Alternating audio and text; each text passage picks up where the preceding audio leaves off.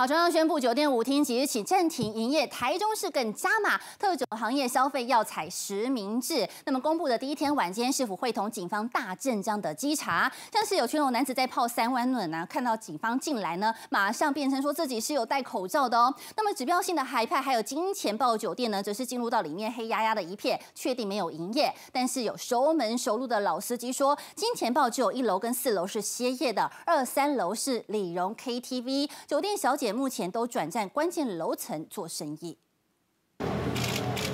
八大行业实名制第一天，台中市政府会同警方来到 KTV 临检。现在的社交活动室内要一点五公尺，像你这样都可以介绍。远警当起了卫教老师，宣导再宣导，但也有人乖乖戴上口罩唱歌。业者入口处大多有公告提醒，要求消费者要留下基本资料。目前是都很配合，如果不配合的话，我们就是请他离场。不止 KTV 和夜店，连电子游艺场也都要如实登记。有三温暖的客人一度被大阵仗的远景稽查吓到。舞厅加酒店，而目前我们列管的数字是四十二家。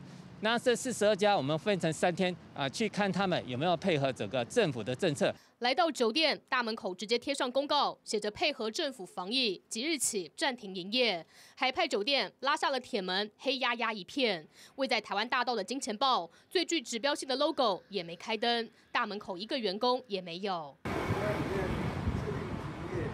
远景上门确认业者有没有乖乖配合歇业，但受熟门熟路的老司机透露，金钱豹一楼的舞厅还有四楼的酒店目前歇业，但是二三楼是李荣 KTV 登记为视听娱乐业，因此不在管辖范围内。酒店小姐通通转战中间的关键楼层。